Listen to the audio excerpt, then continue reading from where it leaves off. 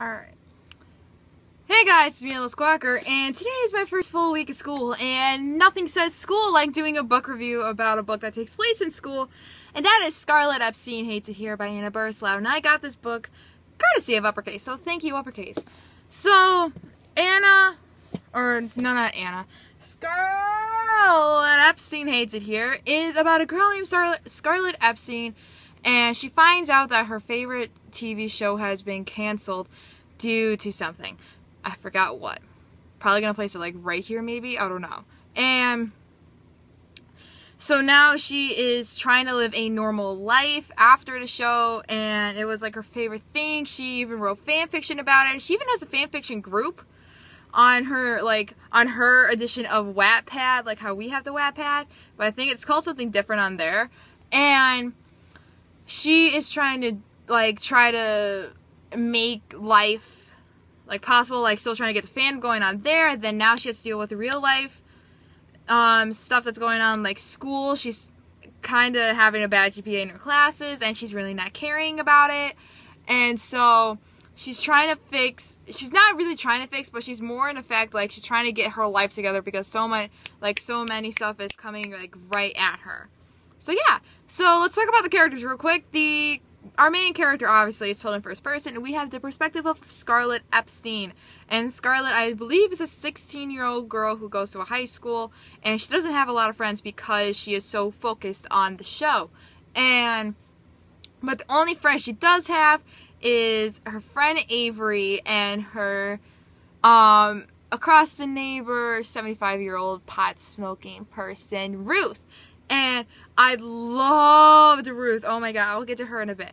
But her Scarlett and Avery's relationship, I knew it was gonna come to like some faulting point or some little problem. I knew was gonna go to a problem at some point in time, and I sensed it because Avery is trying to be optimistic about things, and you have Scarlett who is like digging herself in a hole, and yeah, so another person we have is Gideon and not Gillian, Gideon. And um Gideon is one of Scarlett's closest friends before high school came about and now he's basically a two-faced person because he acts so kind around um he acts so kind around Scarlett, and then once he's with his football friends and all that stuff, he starts to act differently because he's trying to remain his cool factor in and it's really annoying to see because I personally do not like it at all when people act like that. And now let's quickly talk about Ruth. I love Ruth with a burning passion. I think Ruth is a fabulous character, and Anna did such a good job of writing Rue. And Rue is a very open person. Like, she would probably tell you about anything, and she's probably the most down to earth person I've ever seen in a book. And it's really awesome to see um what oh my god i'm trying to find words. It's awesome to see what authors could do with certain characters with certain personalities because you can't do anything with a character and it's great.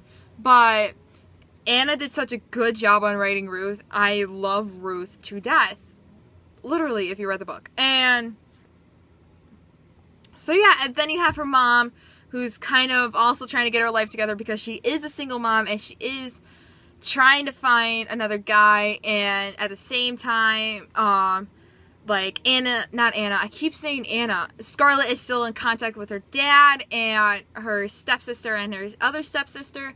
And so that happens. And yeah so you could kind of tell with like the plot line it's gonna get a bit twisted. And one thing I really didn't like about Scarlett Epstein was that she was brutally honest. And when I say brutally honest, I really mean she's brutally honest. Like, if someone said, like, oh, yeah, you did this, and then Scarlett's like, no, I didn't. And then when he mentioned it again, she just tells a lie truth, the liar, the lie, lie, try, the try. And, um, yeah, she's really honest about things, and she does that so that way the situation can stop and she doesn't have to deal with it anymore. But really, it's just harming her and harming the relationship she's trying to form with other people, and that's what she does a lot with Gideon. And towards the end of the book, we did see that, and it was just I kept face palming the book. I was like, why Scarlett, why are you doing this? And it's really annoying to see that.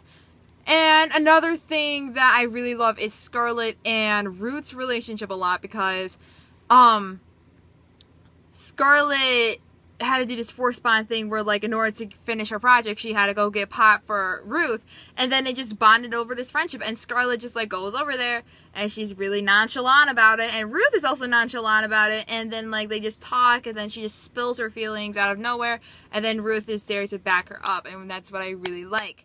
And spoiler alert if you're new to my channel, I do spoiler reviews and um so Ruth dies and we I didn't suspect it at all throughout the whole entire book because you just see her die. You just saw you like you didn't even see it. It's more like the pronounce they pronounce Ruth dead and it's really really sad.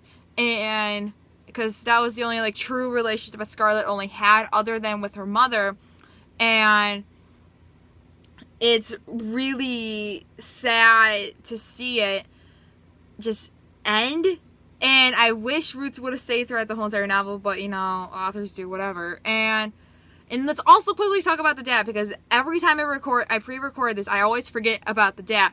And Scarlett and Scarlett's dad is a really weird relationship because yes, that Scarlett is happy about her dad and stuff, but really, her dad is an author, and her dad wrote his latest bestseller all about the last re- relationship that he had, meaning that it was Scarlett's mom and Scarlett's dad, and he decided to put that into a novel. And Scarlett just went on full venting mode, and it was it was it was, it was bad. It was really bad but the ending did save it. I feel like there should have been like a few like plot holes to be fixed. Like it wasn't plot holes, it was like a little divot that should have been solved. So I really wish we saw more of Dad and Scarlett because you do see a lot of Mom and Scarlett, but you never see a lot of Dad and Scarlett, and along with the stepsisters as well. And the bully in this case, I mean, I didn't